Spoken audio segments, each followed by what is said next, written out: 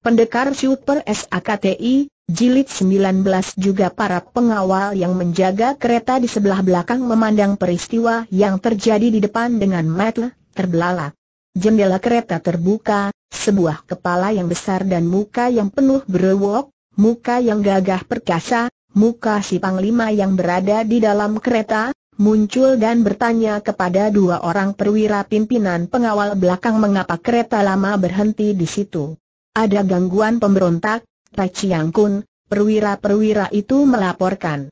Banyak Seng Panglima berolok bertanya tak acuh, memandang rendah karena dia sudah biasa mengalami gangguan para pemberontak. Hanya seorang saja, Tai Chiang Kun. Kalau hanya seorang saja mengapa begitu lama Panglima itu membentak tak sabar. Suara si perwira yang melapor kini agak gemetar, dia lihai bukan main, Tai Chiang Kun, wah, Seluruh pasukan pengawal depan hampir semua roboh di tangannya. Kagetlah Panglima itu. Rombonganmu jangan meninggalkan kereta katanya sambil menutupkan jendela dari dalam. Apa terjadi apakah bertanya seorang wanita cantik yang duduk di dalam kereta di depan Panglima itu. Wanita berusia kurang lebih 26 tahun ini adalah istri Panglima itu, dan ia sedang memangku seorang anak perempuan yang mungil. Hanya gangguan seorang pemberontak, kata Panglima Giamcu dengan suara tenang. Jangan khawatir, istriku. Kau tenang-tenanglah di sini, para pengawal sudah menjaga kita. Pula, jika perlu, aku sendiri akan turun tangan membunuhnya, Panglima Giamcu meraba gagang pedangnya. Istrinya menggerakkan tangan menyentuh lengannya. Jangan. Sudah berkali-kali ku minta kepadamu agar engkau jangan membunuh orang. Kalau hal itu perlu sekali dilakukan, biarlah para pengawal yang melakukannya. Panglima itu tertawa, lalu membungkuk dan mencium pipi istrinya, kemudian berkata, tentu, tentu, apa kau kira aku suka menjadi algojo setelah memiliki istri seorang dewi seperti engkau ini? Akan tetapi biarpun mulutnya berkata demikian, Hati Panglima ini mulai merasa tidak enak dan dia lalu menyingkapkan tirai di jendela depan kereta dan mengintai ke depan. Dapat dibayangkan betapa terkejut hatinya ketika melihat bahwa 20 orang pengawal dan dua orang perwira yang memimpin pengawal pasukan depan telah roboh semua. Kuda-kuda tunggangan mereka lari cerai-berai dan kini ia melihat seorang laki-laki muda yang rambutnya riap-riapan berpakaian putih sederhana, berwajah beringas dan bermata menyeramkan, melangkah perlahan menghampiri kereta yang terjaga oleh dua losin pengawal, dua orang perwira dan dua orang pengendara kereta. Han Han memang sudah marah sekali. Kemarahannya memuncak ketika ia dikeroyok 20 orang pengawal tadi.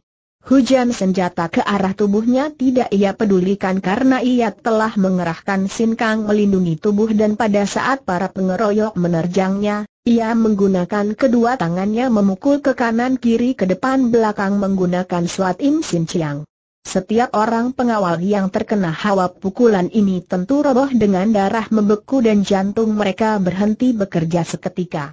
Tentu saja yang jatuh terus mati tak dapat hidup kembali. Setelah semua pengeroyoknya roboh, Han Han memandang ke arah kereta yang terjaga oleh sepasukan pengawal lain. Pakaiannya robek di sana-sini terkena senjata tajam, dan dia melangkah maju menghampiri kereta. Para pengawal hanyalah anak buah, hanya alat, pikirnya.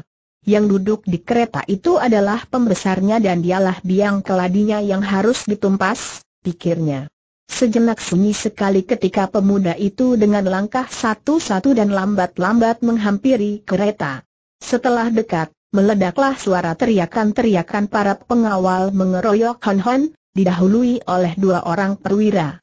Kini rombongan pengawal ini mengeroyok Hon Hon setelah meloncat turun dari atas kuda dan segera terdengar suara hiruk pikuk, suara teriakan marah bercampur aduk dengan suara senjata patah dan jatuh ke atas tanah, Disusul pula jerit-jerit mengerikan ketika Han Han mulai dengan amukannya. Giam Hujin, Nyonya Giam, mendekap putrinya. Mukanya menjadi pucat mendengar suara hiruk pikuk di luar kereta. Giam Chiang Kun kembali mengintai dan Panglima tinggi besar berewokan ini mengeluarkan suara menggeram marah ketika menyaksikan betapa dua orang perwira pengawal itu sudah tewas pula, dan kini orang muda yang aneh itu sudah merobohkan para pengawal dengan setiap gerakan tangan seperti orang membabat rumput saja. Si keparat Giam Chiang Kun mencabut pedangnya dan hendak keluar dari kereta. Akan tetapi istrinya memegang lengannya dan menariknya kembali. Jangan, jangan tinggalkan aku. Hem, istriku. Pemberontak itu liai, para pengawal bukan lawannya. Aku sendiri yang harus melawannya. Tidak, jangan tinggalkan aku. Aku takut, Giam Hujin menahan dan anaknya mulai menangis. Giam Chiang Kun duduk kembali, menghela napas dan memangku pedangnya. Baiklah, aku menjaga di sini dan kalau dia berani masuk, ku penggal lehernya. Suara hiruk pikuk di luar makin gaduh dan tubuh Giam Hujan menggigil. Giam Chiang Kundam diam juga merasa gelisah sekali, apalagi ketika ia mendengar jerit-jerit kematian para anak buahnya. Ia mengintai dan alangkah kagetnya ketika pemuda itu telah mengamuk dekat kereta dan para pengawal yang mengeroyoknya hanya tinggal enam orang lagi. Mereka itu pun mengeroyok dari jarak jauh, menggunakan senjata tombak yang panjang, seperti enam orang pemburu yang menyerang seekor harimau dengan takut-takut terpaksa dan hanya menakut-nakuti dengan ujung tombak saja. Han Hon yang melihat tidak ada lagi pengeroyok yang mendesaknya, segera meloncat ke dekat kereta. Ia menggerakkan tangan mencengkeram daun pintu dan merenggut. Beraak daun pintu itu terlepas dan pecah-pecah. Pada saat itulah Giam Chiang Kun menerjang keluar dengan loncatan dan tusukan pedangnya ke arah dada Han Hon. Han Hon yang mendengar berselipnya angin tusukan pedang maklum bahwa orang yang menyerangnya memiliki ilmu kepandaian yang cukup tinggi, maka ia cepat menggeser kaki ke kiri, tangannya menyampok pedang itu dan kakinya menendang. Buk tubuh Giam Chiang Kun yang tinggi besar itu terlempar sampai 4 meter jauhnya. Pada saat Hon Hon hendak mengejar, dari atas melompat dua orang pengendara dengan golok di tangan. Han Hon menyambut mereka dengan kedua tangannya, tidak mempedulikan dua batang golok yang membacok leher dan pundak. Tangannya berhasil mencengkeram baju mereka dan sekali kedua tangannya bergerak, terdengar suara keras dan pecahlah dua buah kepala yang diadukannya itu, darah munkrat bersama otak. Han Hon menghampiri panglima yang ditendangnya tadi. Giam Chiang Kun bertubuh kuat dan ia sudah bangun kembali dengan pedang di tangan. Ketika Han Hon melihat wajah Giam Chiang Kun, terlepaslah pekik melengking dari mulutnya seperti teriakan seekor beruang marah. Ia melangkah lagi sambil berkata, Engkau, engkaukah ini? Si keparat jahanam, kebetulan sekali, ku beset kulitmu, ku minum darahmu. Suara Han Hon perlahan dan mendesis, wajahnya beringas seperti bukan wajah manusia.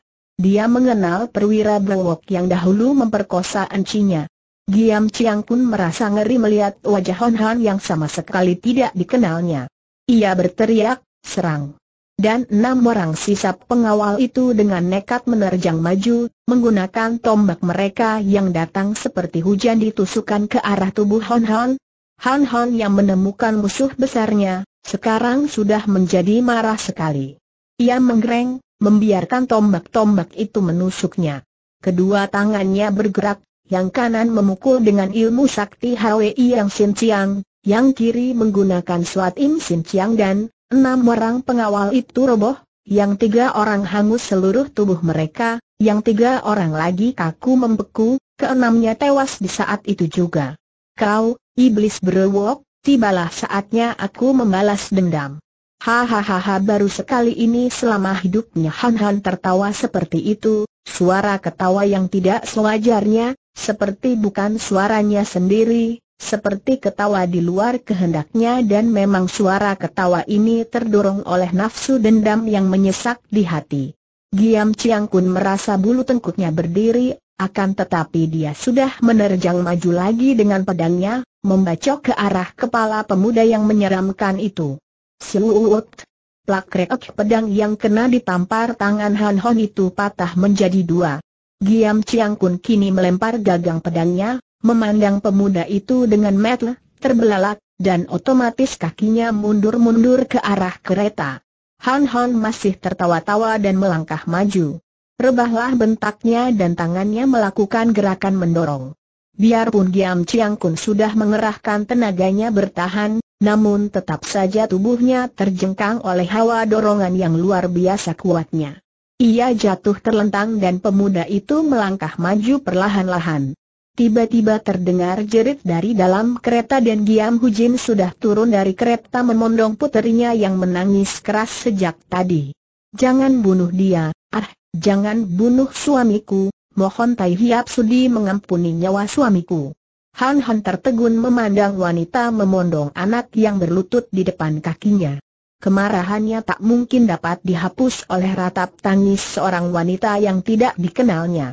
Dia jahat, aku harus membunuhnya ia menjawab, suaranya dingin. Ah, ampunkan dia, ampunkan kami, Tai Hiap, ampunkan suamiku, wanita itu meratap-ratap sambil berlutut, kemudian menangis dan seolah-olah menciumi ujung kaki Han Han.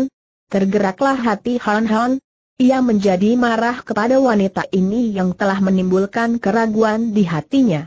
Dia harus membunuh perwira Browok ini. Apa pun yang terjadi, dia harus membunuhnya. Si Browok ini telah memperkosa encinya, memperkosanya di depan matanya. Dialah orang kedua di antara tujuh orang perwira mancu yang harus dibunuhnya harus.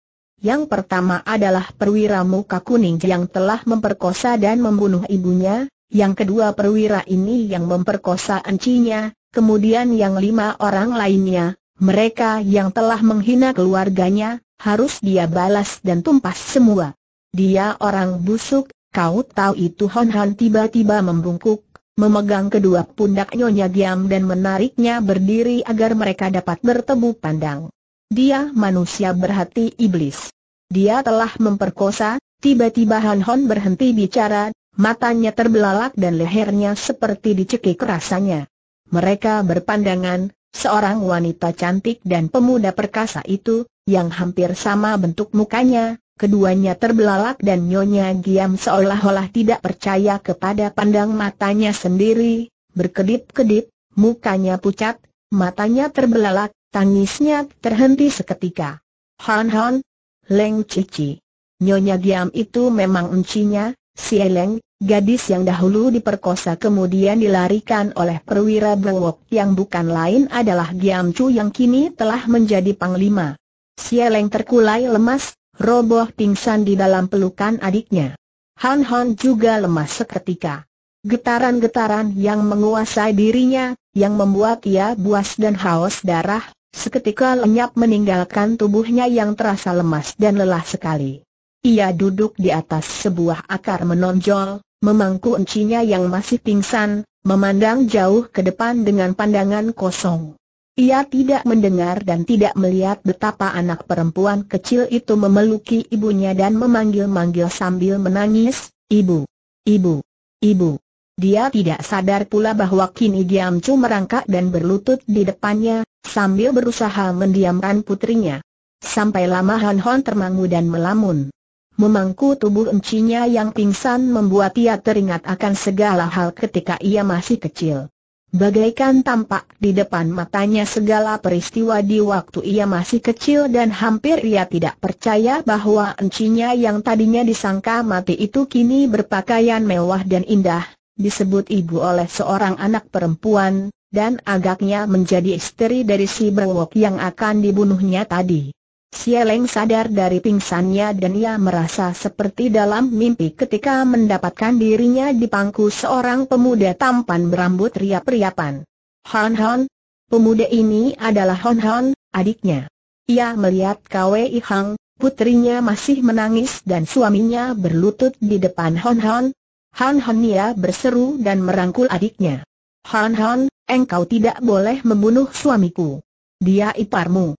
Han Han, engkau ampunkanlah dia katanya sambil berlutut pula di samping suaminya.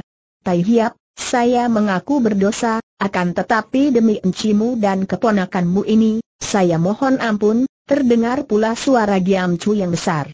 Han Han menjadi bingung, akhirnya menarik napas panjang dan berkata, Suaranya dingin dan sakit hatinya masih belum dapat ia hilangkan sama sekali. Encileng, apakah yang telah terjadi?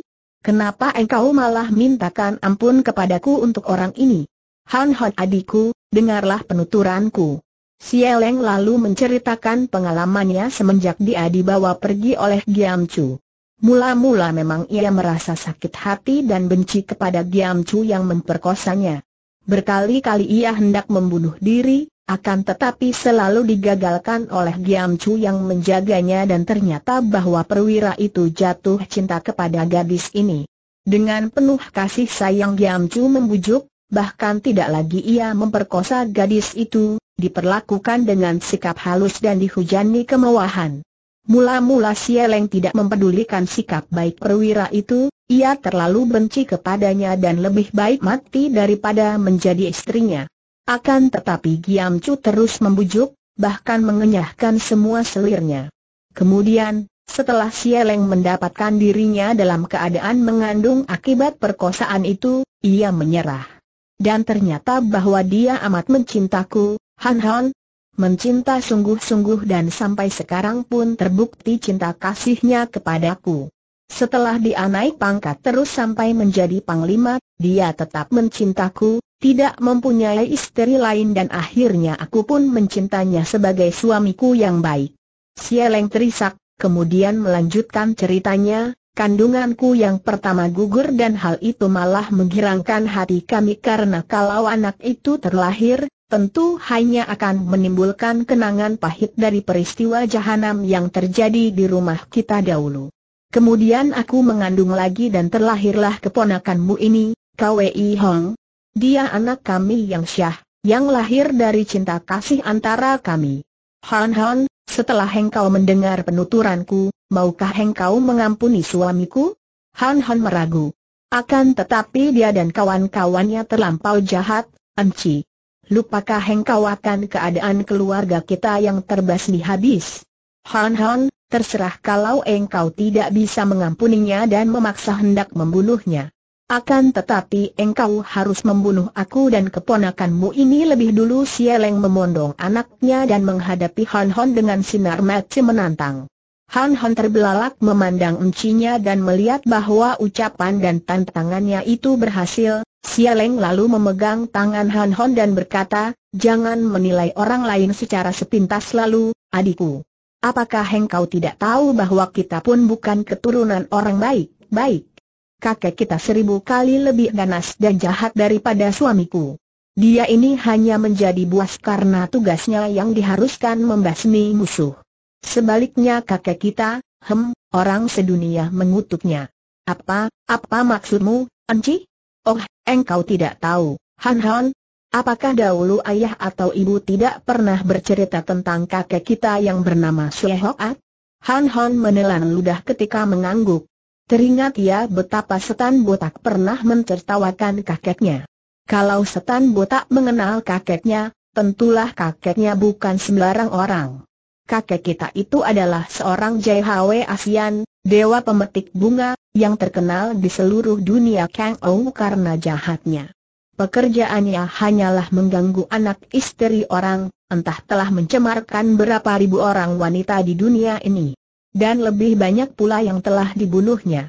Nah, kau dengar sekarang? Apa yang dialami ibu dan aku sendiri, boleh dikatakan hukum karma sebagai pembalasan atas dosa-dosa kongkong kita itu. Nasibku masih baik. Biarpun aku diperkosa, akan tetapi ternyata kemudian bahwa yang memperkosaku menjadi suamiku yang mencinta dan kucinta, menjadi ayah puteriku nasibku masih jauh lebih baik daripada nasib ribuan orang wanita yang menjadi korban kakek kita. Han Han mendengarkan dengan mata terbelatak. Ah, benarkah itu, Leng Cici? Kalau begitu, kakek kita itu memiliki kepandaian yang luar biasa? Tentu saja. Dia ditakuti oleh seluruh tokoh di dunia pada zamannya. Kalau begitu, mengapa ayah kita begitu lemah? Ayah kita bukanlah anaknya yang sah, melainkan anak yang terlahir dari seorang di antara wanita-wanita yang diperkosanya. Ai Hon Han menutupi mukanya. Hukum karma. Dosa kakeknya mengakibatkan hancurnya keluarga ayahnya. Sudahlah, adikku. Keturunan ayah tinggal kita berdua, marilah engkau ikut bersamaku, adikku. Kakak iparmu ini amat mencintaku, dia seorang yang baik. Kalau dia melakukan hal yang mengerikan terhadap keluarga ayah, hal itu adalah tidak mengherankan karena hal-hal semacam itu selalu terjadi dalam perang. Engkau telah membunuhi semua pengawal kami, ah, mengapa, adikku? Han Han mengangkat muka, memandang kepada Cihounya, kakak iparnya, yang masih menundukkan muka. Mengapa? Tanya saja kepada suamimu ini, Leng Cici. Para pengawal itu membunuh-bunuhi rakyat yang tidak berdosa.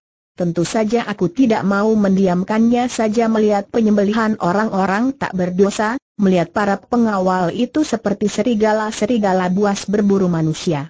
Hem, kau anggap begitukah, Han Han? Lihatlah ini si Eleng menyingkap bajunya dan memperlihatkan pundaknya yang terluka, luka baru. Mengapa pundakmu, Cici? Akibat serangan mendadak dari orang-orang tak berdosa itu. Mereka pura-pura menjadi rakyat jelata, menonton kereta pembesar lewat. Tiba-tiba menyerang dengan senjata rahasia, mengenai pundakku dan hampir membunuh keponakanmu kalau saja tidak cepat ditangkis Cihumu. Masih banyak hal terjadi, Han Han. Hal-hal mengerikan yang dilakukan oleh rakyat tak berdosa itu pembunuhan-pembunuhan mengerikan terhadap orang-orang yang bekerja kepada pemerintah baru. Akan tetapi semua itu sudah wajar terjadi dalam perang. Han Han termenung dan terbayanglah wajah Lulu. Adik angkatnya itu pun putri seorang Mancu yang keluarganya terbasmi oleh rakyat, oleh Lau Pangcu dan teman-teman yang menyebut diri mereka kaum pejuang. Bahkan oleh mereka yang menganggap diri sendiri orang-orang gagah itu, Lulu disuruh berpakaian seperti jembel dan dibiarkan hidup seorang diri. Apakah dosa Lulu? Berdosakah kalau dia kebetulan oleh Tian dilahirkan sebagai anak keluarga Mancu? Salahkah sekarang kalau cicinya mencinta pembesar Mancu yang memperkosanya? Ia menjadi bingung memikirkan hal ini, lebih bingung lagi mendengar keterangan cicinya bahwa kakeknya, ayah dari ayahnya, adalah seorang pentolan kaum pemerkosa wanita sehingga berjuluk Dewa Pemetik Bunga. Tiba-tiba Han Hon berseru, awas. Tubuhnya bergerak mendorong cicinya ke samping dan empat buah senjata piau runtuh ke bawah. Giam Chiang Kun kaget sekali, cepat merangkul istri dan anaknya, berlindung di dekat kereta, di belakang Hon Han yang sudah berdiri tegak memandang ke depan. Pembesar Mancu keparat, bersiaplah untuk mampus terdengar seruan nyaring sekali sehingga Han Han diam-diam terkejut. Yang datang adalah seorang wanita yang berkepandaian tinggi. Buktinya, dari jauh sudah dapat menyambit Piao yang ketika ia sampok tadi membayangkan tenaga besar, dan sebelum tampak orangnya sudah terdengar suaranya yang nyaring. Tak lama kemudian muncullah tiga orang muda yang gerakannya tangkas dan gesit, berloncaran dengan gerakan ringan sekali membayangkan ginkang yang tinggi tingkatnya.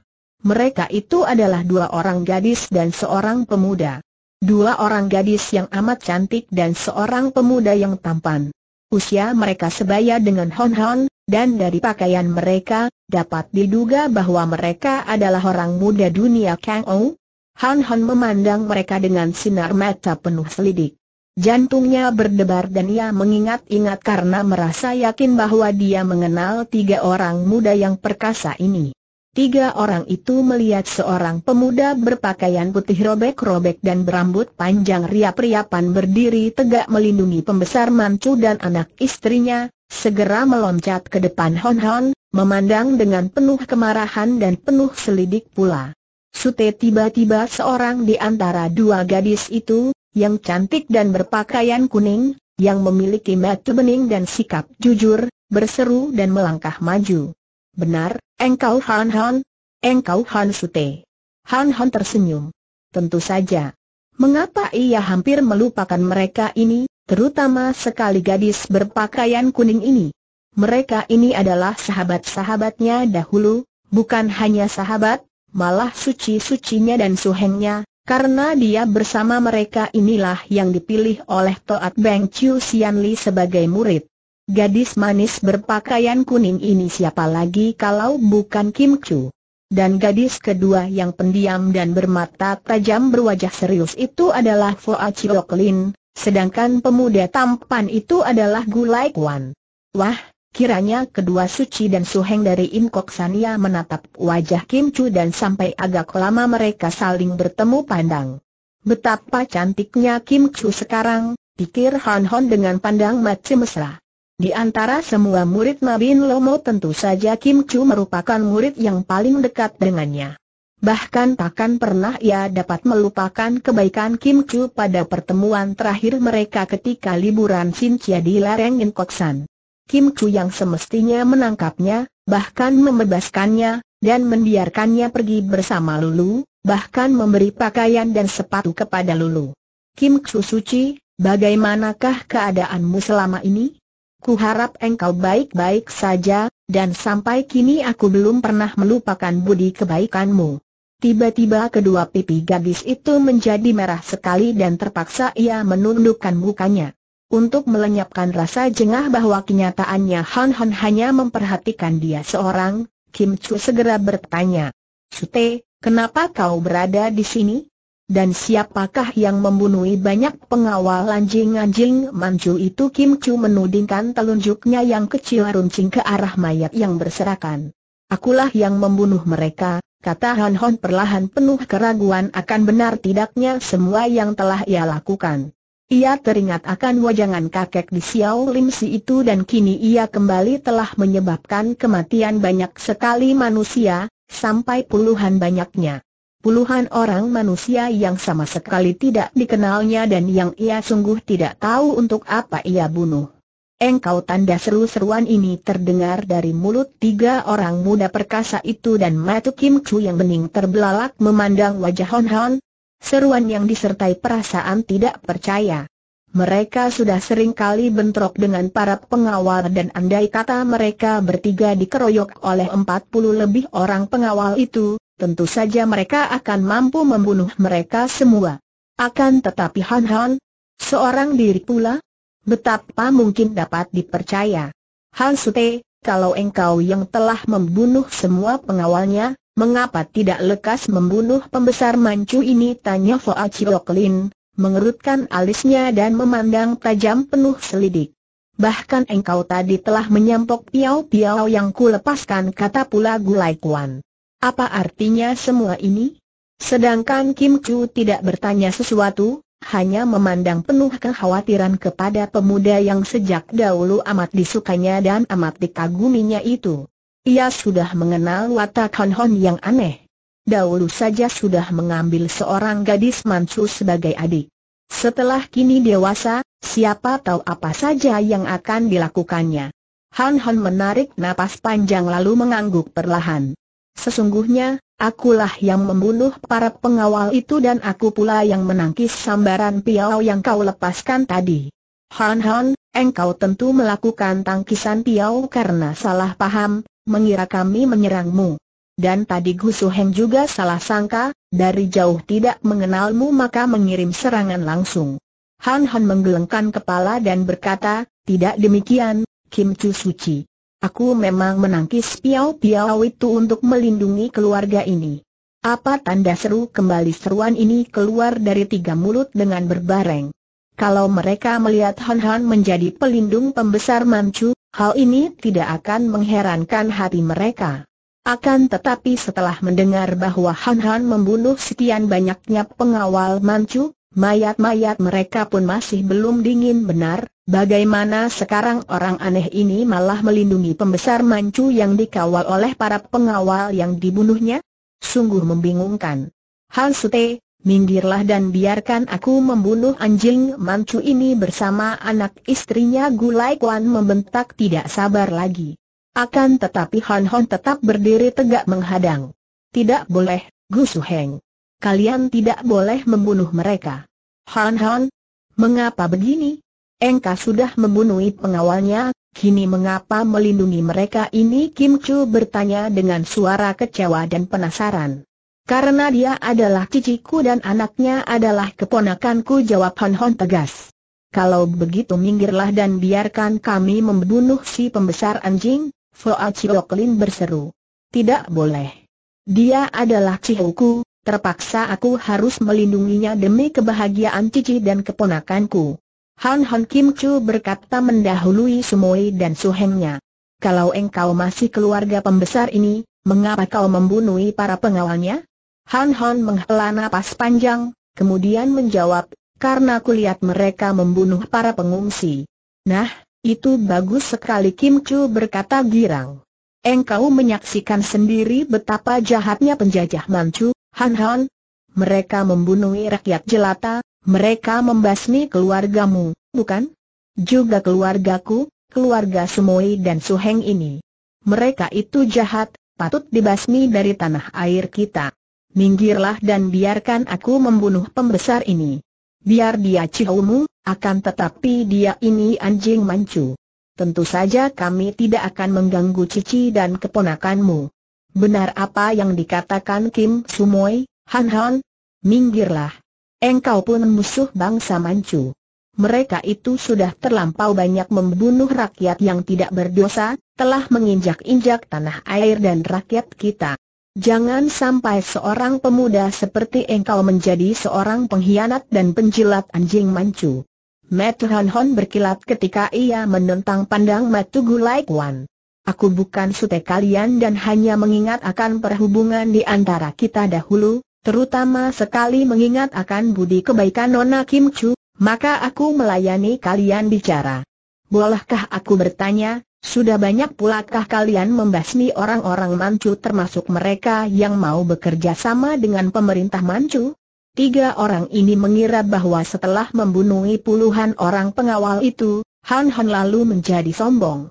Haha, sungguh pertanyaan lucu jawab Gulai Kuan. Tentu saja sudah banyak. Sedikitnya seratus orang telah tewas di tanganku ini.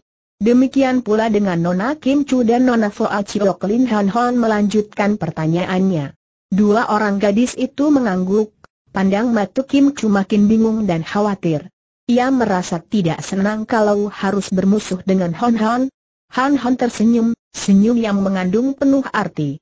Mungkin Cihuku ini sudah banyak membunuh orang. Akan tetapi aku pun sudah banyak membunuh orang dan kalian bertiga sudah mengaku telah membunuh ratusan orang. Entah siapa yang lebih jahat di antara kita pembunuh-pembunuh ini dan aku sangsi apakah ada yang baik di antara kita. Sejenak tiga orang muda itu bingung mendengar ucapan itu. Akan tetapi, yang kami bunuh adalah orang-orang Manchu yang jahat sedangkan yang dibunuh orang-orang Manchu adalah rakyat yang tidak berdosa bantah Gulai Kuan penasaran. Gulai Kuan, aku hendak melihat mana ada orang yang tidak berdosa Han Han menarik napas panjang, teringat akan cerita cicinya tentang kakeknya, yang menjadi pemerkosa wanita nomor satu di dunia.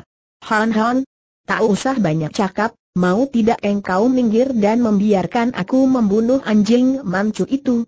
Han Han menggeleng kepala. Engkau mau menjadi pengkhianat bentak Foa Chioklin yang seperti suhengnya amat membenci orang-orang Manchu dan sudah bersumpah hendak membunuh semua orang Manchu untuk membalas dendam keluarganya yang habis terbasmi orang Manchu. Terserah bagaimana penilaian kalian. Aku tetap tidak membiarkan kalian membunuh Cihuku dan keluarganya. Sebaiknya kalian pergi saja. Wah, agaknya engkau memiliki sedikit kepandaian dan menjadi sombong bentak Gulai Kuan. Minggirlah, atau terpaksa aku akan merobohkanmu lebih dulu. Han Han, minggirlah. Mengapa engkau berkeras Kim Chu berkata, suaranya setengah memohon. Akan tetapi Han Han memandang gadis itu dan berkata, menyesal sekali, aku tidak dapat memenuhi permintaanmu, Nona Kim Chu. Kalau begitu mampuslah Gulai Kuan menerjang maju, mengirim pukulan keras sekali ke dada Han Han. Seperti telah diceritakan di bagian depan, Gulai Kuan ini merupakan seorang di antara empat murid yang diambil Toat Beng Chiu Sian Li sebagai murid, dioper dari tangan Mabin Lomo, di samping Han Han, Kim Chu dan Foa Chiok Lin murid-murid Mabin Lomo sudah hebat, menerima pelajaran ilmu kesaktian Suat Im Sin Chiang. Akan tetapi sebagai murid Toat Beng Chiu Sian Li, tentu saja tingkat kepandaian tiga orang itu lebih hebat daripada murid-murid Mabin Lomo. Mereka juga telah menguasai Suat Im Sin Chiang, Akan tetapi ilmu yang mereka kuasai baru setengahnya ini seperti yang hanya dapat dicapai oleh semua murid Mabin Lomo, telah diperhebat oleh pelajaran yang mereka terima dari Toat Beng Chiu Sian Li.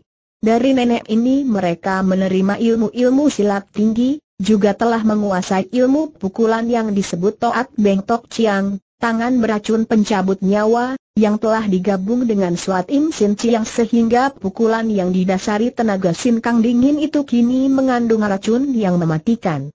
Ketika menyerang Hon Hon, Gulai Kuan yang belum mengenal kelihayan Hon Hon, tidak mengeluarkan pukulan ini, melainkan memukul dengan Sin Kang yang kuat akan tetapi tidak mengandung hawa beracun. Melihat datangnya pukulan yang amat kuat ini, Han Han dapat mengukur dari sambaran hawanya, maka dengan berani ia menerima pukulan itu dengan dadanya. Kim Chu menahan seruannya yang sudah terlanjur keluar dari mulutnya ketika melihat betapa Han Han menerima pukulan suhengnya begitu saja dengan dada. Pukulan itu mengandung tenaga sinkang yang kuat dan isi dada dapat remuk terguncang dan dapat menyebabkan kematian. Namun ia tidak keburu mencegah lagi, hanya memandang dengan mata terbelalak. Adapun Foa Chioklin yang menyaksikan sikap sucinya ini mengerutkan kening dan diam-diam ia maklum bahwa Kim Chu menaruh hati kepada pemuda berambut panjang bersinar mata aneh itu. Buk! Ayah Agu Laikwan berseru kaget dan tubuhnya terjengkang ke belakang. Tentu ia akan terbanting roboh kalau saja tidak cepat mempergunakan ginkangnya berjungkir balik ke belakang sehingga ia dapat berdiri lagi dengan mata terbuka lebar. Pukulannya tadi keras sekali, akan tetapi Han Hon telah menerima dengan dada terbuka dan sama sekali tidak bergeming, malah tenaga pukulannya membalik sehingga ia terjengkang. Lai Kuan, lebih baik engkau dan kedua nona ini pergi saja dan jangan mengganggu aku, kata Han Hon. Ia sama sekali tidak ingin bentrok dengan bekas saudara-saudara seperguruannya itu. Akan tetapi ucapannya ini menambah kemarahan Lai Kuan yang menganggap Hon Hon memandang rendah kepadanya. Manusia sombong. Tidak tahu bahwa aku tadi telah berlaku lunak kepadamu. Kalau benar-benar ingin berkelahi, nah, kau terimalah pukulan ini. Setelah berkata demikian, Lai Kuan melompat ke depan sambil mengeluarkan pekik menyeramkan. Saat tubuhnya masih melambung di udara, kedua tangannya mendorong ke depan. Itulah pukulan gabungan Suat Im Sin Chiang dan Toat Beng Tok Chiang yang amat hebat. Pukulan yang mendatangkan suara bercuitan itu amat hebatnya dan Hon Han tentu saja mengenal pukulan lihai. Dia tidak berani menerima dengan tubuhnya seperti tadi, apalagi kini kedua tangan yang mendorong itu menuju ke arah pusarnya. Ia masih berdiri tegak dengan kedua kaki terpentang lebar. Cepat ia menggerakkan tangan kirinya, diayun dari kanan ke kiri dengan gerakan menangkis, diam-diam mengerahkan inti tenaga Im Kang yang lebih kuat daripada Suat Im Sin Chiang. Dua tenaga mukjizat bertemu dan tentu saja Lai Kuhan bukan lawan Han Han dalam hal tenaga sakti. Sedangkan Mabin Loma sendiri tidak sanggup menandingi Han Han, apalagi Lai Kuan. Pemuda murid Toat Beng Chiu Sian Li ini merasa seolah-olah tubuhnya dibawa angin puyuh, Kedua lengannya yang mengirim dorongan tadi terbanting ke kanan, dan tubuhnya tak dapat ia cegah lagi ikut terbanting sehingga ia roboh terguling-guling sampai belasan kaki jauhnya. Ai yang berseru ini adalah Kim Chu dan Foa Chioklin, berseru saking heran dan kagetnya. Mereka tentu saja maklum dan mengenal pukulan suheng mereka, dan tahu betapa kuatnya pukulan itu. Akan tetapi Hon Hon dapat menangkis dengan pengerahan tenaga sinkang dan akibatnya suheng mereka terpelanting sampai belasan kaki jauhnya. Sehingga Chok Lin sudah mencabut pedangnya. Sehingga Kim Chu juga mencabut pedang. Lai Kuan sudah meloncat bangun. Ia terengah-engah dan bergidik sambil menggoyang pundaknya. Ia merasa betapa hawa dingin menyerang dadanya dan ia hanya mengira bahwa pukulannya yang mengandung suat im sin yang tadi membalik oleh tangkisan Han Han yang memiliki sinkang amat kuat. Ia masih tidak tahu bahwa Han Han telah memiliki intisari suat im sin yang luar biasa kuatnya. Melihat kedua orang semuanya sudah mencabut pedang, Lai Kuan juga mencabut pedangnya dan melangkah maju. Kiranya engkau telah memiliki kepandaian tinggi. pantas menjadi begini sombong kata Lai Kuan. Akan tetapi karena engkau seorang pengkhianat dan pembela anjing mancu, engkau akan mati di tangan kami. Ucapan itu disusul oleh gerakan pedang yang amat cepat. Pedang di tangan Lai Kuan berubah menjadi sinar putih yang menyilaukan mata. Berturut-turut tampak sinar bergulung-gulung ketika Kim Chu dan Chok Lin menggerakkan pedang mereka. Memang tiga orang muda ini telah menerima ilmu pedang yang amat lihai dari guru mereka. Tiga sinar pedang bergulung-gulung seperti tiga ekor naga sakti mengurung tubuh Hon Hon. Pemuda ini terkejut juga melihat berkelebatnya gulungan sinar pedang yang amat cepat dan mengeluarkan suara berdesing. Ia mempergunakan ginkangnya untuk berkelebat dan mengelak ke sana ke sini. Diam-diam Kim Chu kagum bukan main. Ternyata bahwa Han Han kini telah menjadi seorang sakti, tidak saja memiliki sinkang yang lebih kuat daripada Lai Kuan, bahkan memiliki ginkang yang istimewa sehingga serangan mereka bertiga selalu mengenai tempat kosong. Pergilah kalian. Aku tidak ingin membunuh kalian berkali-kali Han Han berseru keras. Memang dia takut sekali kalau-kalau ia kesalahan tangan lagi membunuh tiga orang ini. Hal ini amat tidak ia kehendaki, terutama sekali ia takut kalau-kalau ia salah tangan melukai Kim Chu. Akan tetapi seruan-seruannya tidak dipedulikan tiga orang itu yang menjadi makin penasaran, bahkan seruan Hon Hon itu dianggap oleh mereka sebagai tanda memandang rendah. Mereka mempercepat gerakan pedang mereka dan kini Hon Hon menjadi sibuk. Memang, kalau tiga orang itu hanya mengandalkan tenaga sinkang, kiranya mereka takkan dapat berbuat banyak terhadap Han Hon yang jauh lebih kuat, juga dalam hal kecepatan gerakan, Han Hon menang jauh. Akan tetapi karena mereka menggunakan pedang dan ilmu pedang mereka merupakan ilmu pedang tingkat tinggi yang amat hebat gerakannya, Han Hon yang belum matang ilmu silatnya itu menjadi bingung. Biarpun ia dapat mengelak cepat, akan tetapi karena dikeroyok tiga dan tidak mengenal perubahan-perubahan gerakan tiga batang pedang yang menyambar-nyambar ganas, tidak dapat ia menghindarkan diri dari sambaran-sambaran pedang sehingga dalam belasan jurus berikutnya, hanya tergores pedang dan pundaknya juga terluka oleh tusukan ujung pedang. Melihat pedang mereka berhasil, Lai Kuan dan Chok Lin lebih bernafsu lagi, hanya Kim Chu saja yang berseru. Han Han, pergilah. Untuk apa melindungi anjing mancu dan mengorbankan diri sendiri? Seruan ini berkesan di hati Hon Hon dan ia kembali mencatat sikap baik dari gadis itu terhadapnya. Akan tetapi mana mungkin ia membiarkan cicinya, cihunya, dan keponakannya dibunuh. Dia menjadi bingung sendiri. Semenjak dahulu ia bersumpah dan mengambil keputusan di hatinya untuk membunuh perwira-perwira mancu yang telah membasmi keluarganya, Tujuh orang jumlahnya dan terutama sekali perwira muka kuning dan perwira bewok yang ternyata adalah Giam Chiang Kun ini. Akan tetapi sekarang bagaimana? Ia malah melindungi nyawa perwira yang setiap saat dahulu tak pernah ia lupakan sebagai musuh nomor satu itu, melindunginya dari ancaman bekas suhengnya dan kedua sucinya. Bahkan ia terpaksa harus menentang dan bertanding melawan Kim Chu, gadis yang demikian berbudi terhadapnya. Ia menjadi bingung, akan tetapi apa yang harus ia lakukan? Mampuslah kembali pedang Laikuhan berkelebat menusuk perutnya.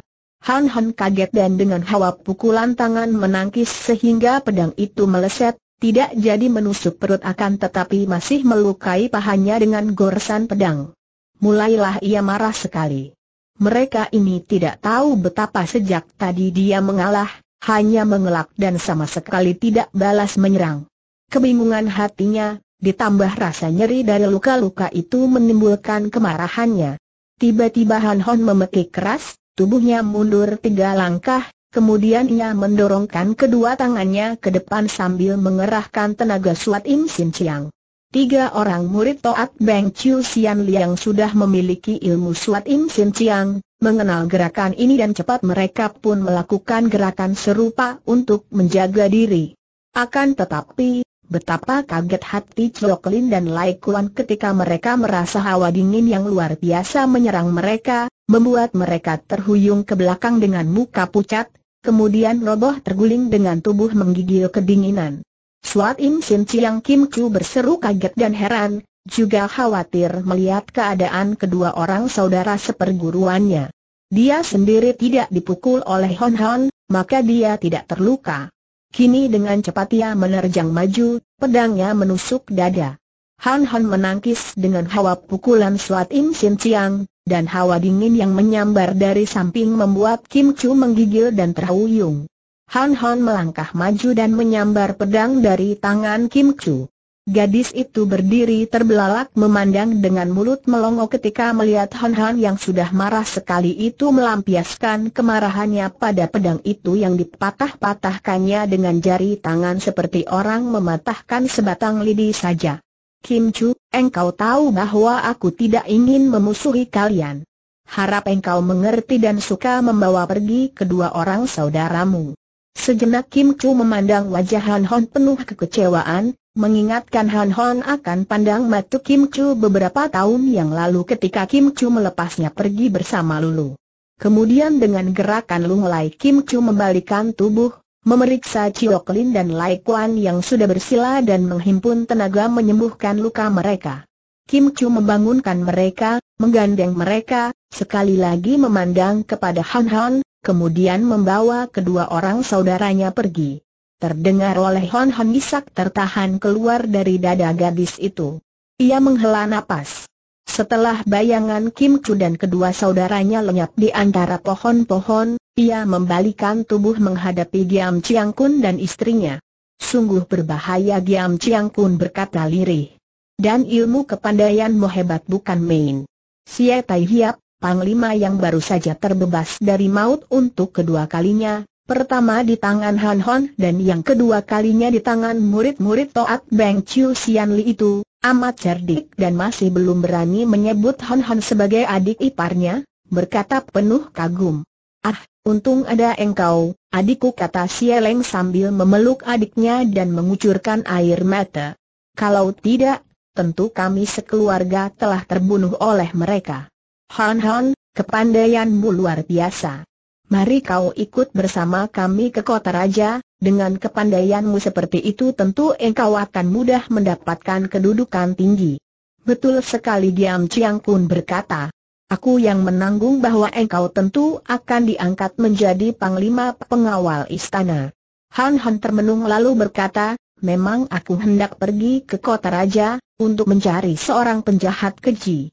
Siapakah dia, Han Te, adik Han? Aku akan dapat membantu mencarinya, kata Giam Chiang Kun penuh gairah. Tentu Ciu, kakak ipar, tahu siapa dia. Dia bernama Yang Seng. Ah Giam Chiang Kun teringat akan semua rencana yang diatur oleh Putri Nirahai di dalam rapat di rumah Pangeran Yang Chin Kok. Akan tetapi ia pura-pura bertanya, tentu saja aku mengenalnya. Dia putra Pangeran Yang Chin Kok. Apakah yang telah ia lakukan terhadapmu, adikku? Han Han tidak peduli akan sikap yang amat baik dan mesra dari kakak iparnya yang betapapun juga masih tidak disukainya itu. Aku mencarinya karena dia telah menculik adikku. Eh eh, Han Han, adikmu siapa? Engkau tidak mempunyai adik. Anak orang tua kita hanya aku dan engkau kata Sieleng heran. Kumaksudkan adik angkatku, namanya Lulu. Lulu?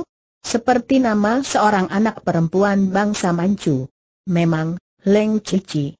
Dia, seorang putri keluarga perwira Manchu yang tewas dalam perang. Dia diculik Yang Seng. Giam Chiang pun tersenyum. Harap kau jangan khawatir, adikku. Aku yang menanggung bahwa adikmu itu tidak akan diganggu. Tidak mungkin ada orang berani mengganggu dia, apalagi dia putri perwira Manchu.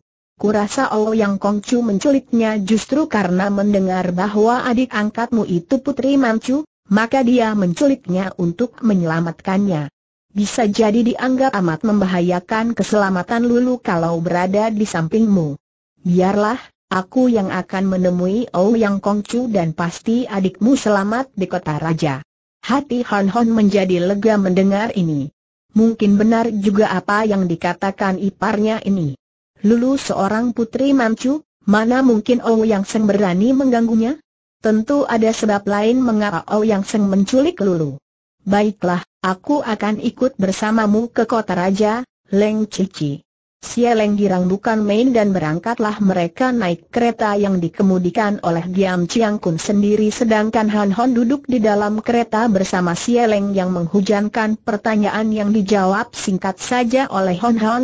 Betapapun juga, hati Hon Hon masih belum terbiasa oleh kenyataan bahwa encinya menjadi istri musuh besarnya. Akan tetapi karena Sieleng benar-benar merasa bahagia dapat bertemu dan berkumpul dengan adiknya, sikapnya jelas membayangkan kebahagiaan dan keharuan sehingga hati Han Hon tidak tega untuk menyatakan ketidakpuasan hatinya. Leng Cici, aku masih heran mendengar ceritamu tentang kakek kita tadi, ia berkata kemudian. Benarkah kakek kita yang bernama Xie Hoat itu berjuluk Jai Hwe Asian dan menjadi tokoh jahat di dunia Kang Ou? Xie Leng mengangguk. Ibu pernah bercerita kepadaku dengan pesan agar hal itu jangan kuceritakan kepada siapa pun juga, tidak pula kepadamu. Apalagi tidak boleh terdengar oleh ayah. Justru ayah yang melarang keras cerita itu diketahui orang lain. Akan tetapi aku masih merasa heran. Kalau kakek merupakan seorang tokoh besar dunia Kang Ou yang dijuluki dewa, tentu kepandaiannya hebat. Mengapa ayah seorang begitu lemah? Kalau ayah sepandai kakek, tentu tidak sampai mengalami nasib demikian menyedihkan. Cici, apakah engkau mengetahui cerita selengkapnya? Sieleng menghela napas panjang. Bicara tentang keluarganya merupakan pengalaman pahit yang menyakitkan hati, karena hal itu mengingatkan dia bahwa suaminya yang tercinta merupakan seorang di antara mereka yang membasmi keluarganya. Kemudian ia berkata, aku pun hanya mendengar cerita dari ibu.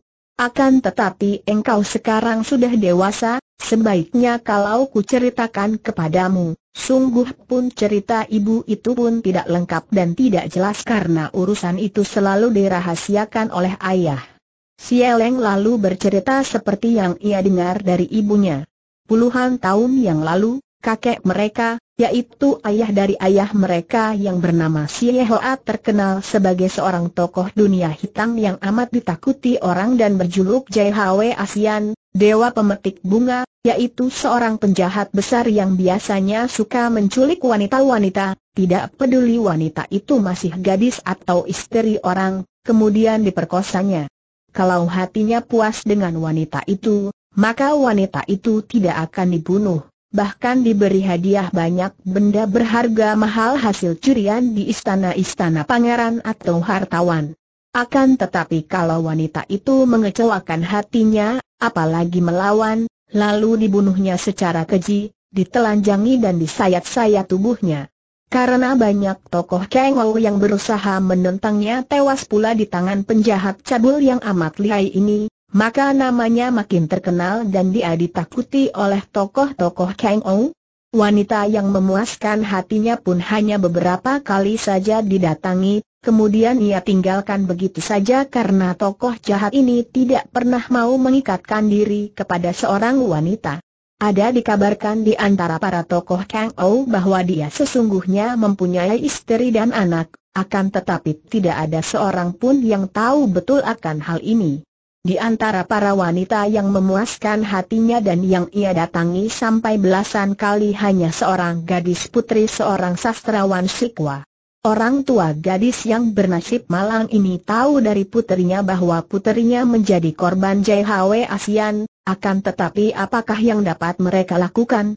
Dengan hati perih mereka itu hanya dapat menutup rapat rahasia itu.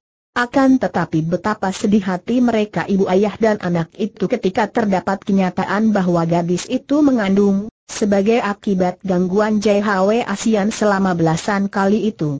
Jalan satu-satunya yang dapat mereka tempuh hanyalah pindah secara diam-diam dari dusun mereka ke tempat lain dan di tempat baru ini putri mereka diperkenalkan sebagai seorang janda muda yang ditinggal mati suaminya dalam keadaan mengandung. Demikianlah, gadis Shikwa itu kemudian melahirkan seorang putra. Kakeknya, sastrawan Kwa, yang khawatir kalau-kalau anak keturunan Jai Hwe Asian itu akan mewarisi watak ayahnya, lalu memberinya nama Siebun An dan semenjak kecil anak itu dididik kesusastraan oleh kakeknya, sama sekali tidak diperbolehkan belajar ilmu silat.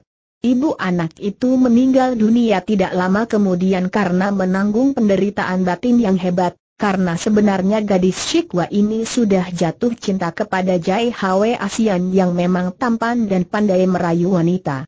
Setelah dewasa, kakeknya menceritakan Bun An tentang riwayat ibunya, maka taulah Bun An bahwa dia adalah putra penjahat besar Hoat yang berjuluk Jai Hwe Asian.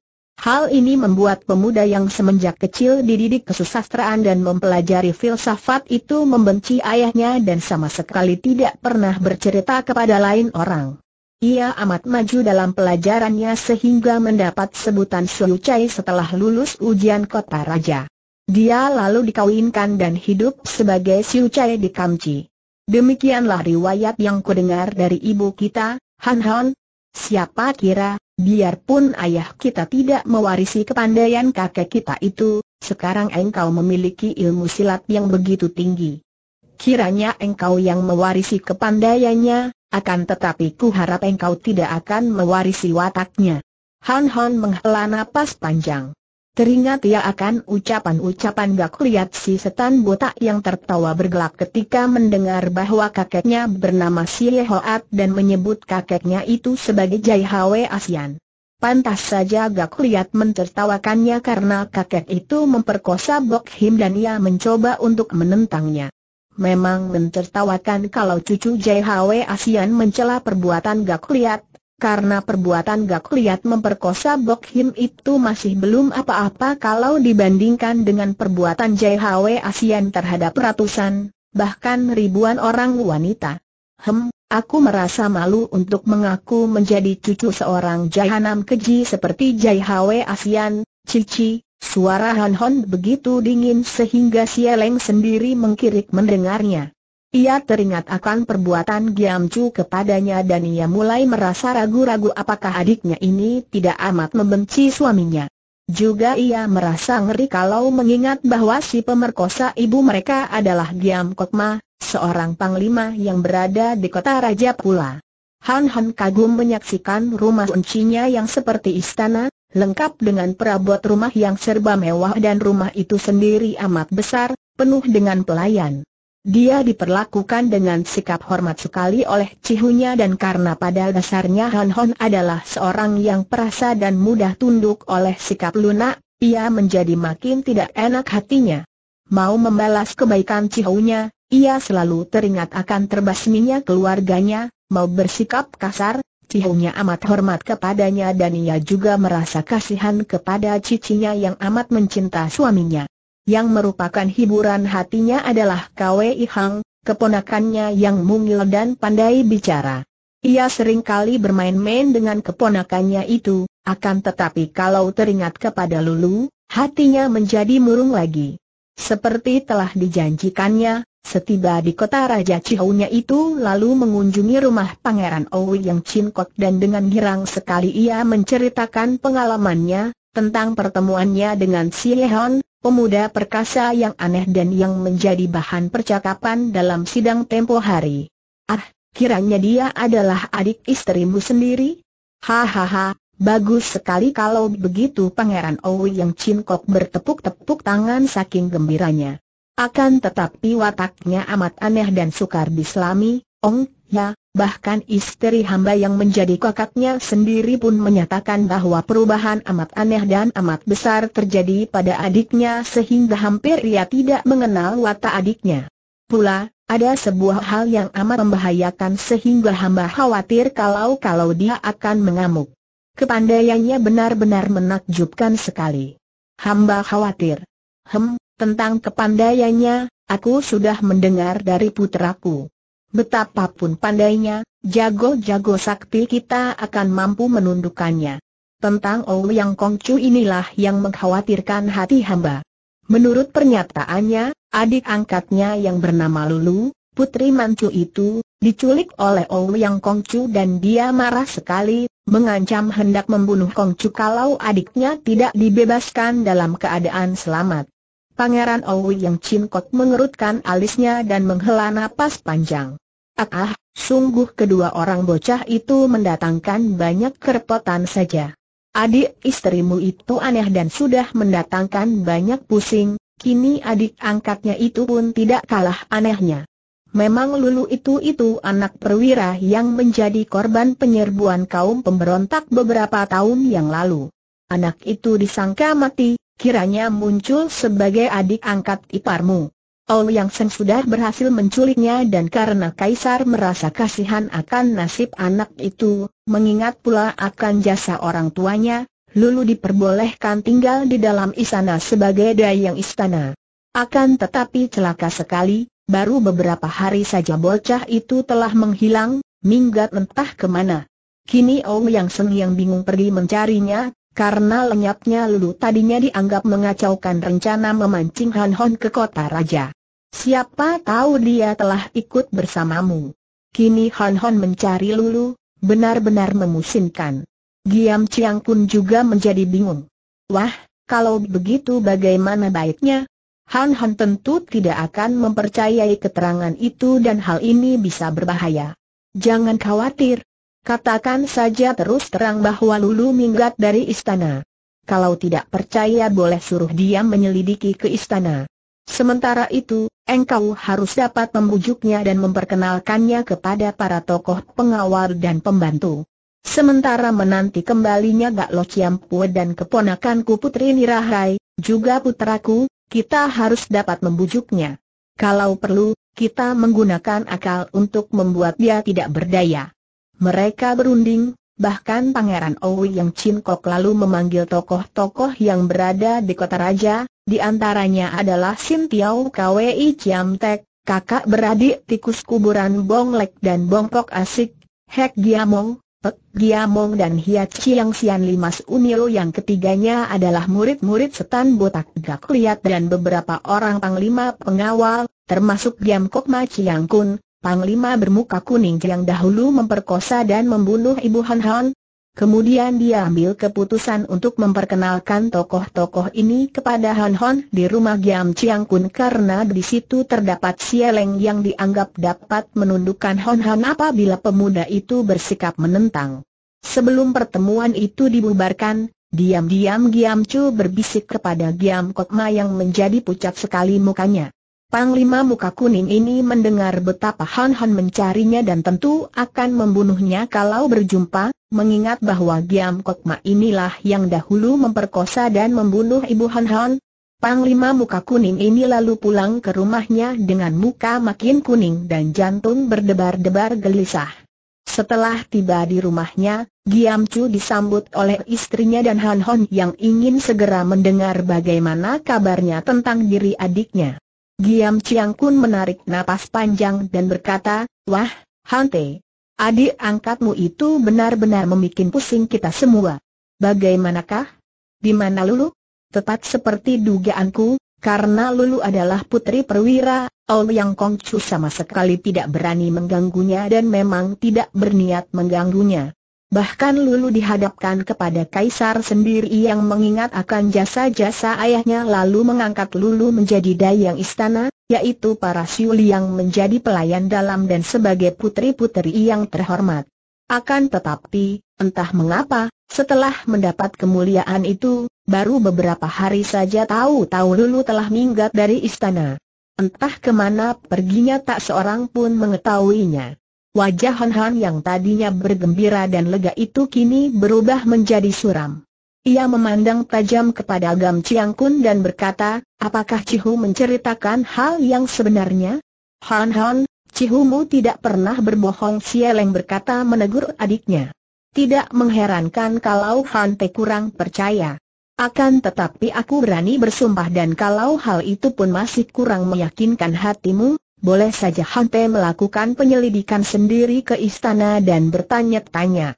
Kurasa tidak semua petugas istana dapat melakukan kebohongan yang sama. Han Han duduk melamun. Ia percaya karena apa perlunya berbohong kepadanya. Pula, setelah tinggal di situ beberapa hari lamanya, ia mendapat kenyataan bahwa Cihunya benar-benar mencinta cicinya dan bahwa benar-benar cicinya hidup bahagia di situ. Ia menghela napas panjang. Kalau begitu, aku pun tidak bisa lama tinggal di sini. Aku harus pergi mencari jejak Lulu. tidak mungkin aku dapat membiarkan adikku itu merana seorang diri. Aku merasa yakin bahwa pasti dia minggat untuk mencariku. Ah, mengapa terburu-buru, adik Han Han? Istana sendiri telah berusaha mencarinya dan banyak penyelidik telah disebar untuk mencari Lulu, bahkan ada perintah dari Kaisar sendiri untuk memanggil gadis itu. Kurasa, sebagai seorang gadis mancu dia tidak akan berani membangkang terhadap perintah kaisar. Lebih baik engkau menanti di sini, pasti akan dapat ditemukan. Sementara itu, engkau yang memiliki ilmu kepandaian begitu tinggi apakah tidak ingin berkenalan dengan tokoh-tokoh besar di dunia Kengou yang berada di sini? Aku telah mengundang mereka dan mereka ingin benar berkenalan denganmu. Di antara mereka terdapat seorang tokoh sakti dan aneh berjuluk Sim Tiao Kwe yang kabarnya murid keturunan tokoh sakti Hak Giam Lo dari Hitan. Ada lagi kakak beradik yang berjuluk Tikus Kuburan, juga mereka memiliki ilmu yang luar biasa lihainya. Di samping itu, lebih baik kau tunggu tokoh yang paling hebat di antara kita semua, yaitu Putri Nirahai yang memiliki ilmu kepandaian mukjizat biarpun dia hanya seorang gadis muda, dia memiliki ilmu keturunan dari pendekar wanita sakti mutiara hitam di hitan. Hati Hon Hon tertarik juga mendengar ucapan itu, terutama sekali mendengar nama Putri Nirahai.